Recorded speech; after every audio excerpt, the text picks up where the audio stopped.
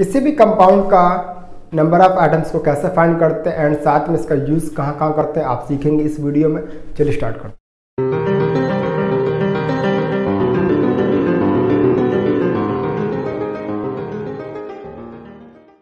जिस कंपाउंड का आप निकाले नंबर ऑफ़ आइटम्स वो फॉर्मूला बिल्कुल सही चाहिए। ये फॉर्मूला होता है मैग्नीशियम सल्फेट का, जो कि बिल्कुल सही है।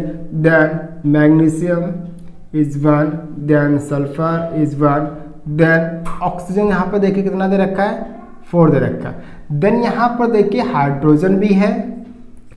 कितना है यहाँ पर? मल्टीप्लाई होगा। ये है दे रखा फोर्टीन देन ऑक्सीजन है, इसका मल्टीप्लाई सेवन होगा। तो टोटल वैल्यू कितनी आएगी? Four and seven total is eleven then अब यहाँ पर देखिए magnesium sulphur oxygen and hydrogen इनकी वैल्यू को ऐड करेंगे।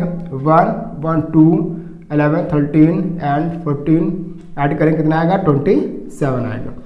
तो इस तरीके से क्या करते हैं? नंबर ऑफ़ आइटम्स को फाइंड कर लेते हैं किसी भी कंपाउंड को। सभी कंपाउंड को मैथड जो मैंने बताया, इसी तरीके से सबका निकाल लेते हैं। अगर आप भी चाहते हैं और भी तरीके सीखने के लिए, आप मेरे पिछली वीडियो जाइए, वहाँ पर अच्छे खासी आप प्रैक्टिस कर सकते हैं।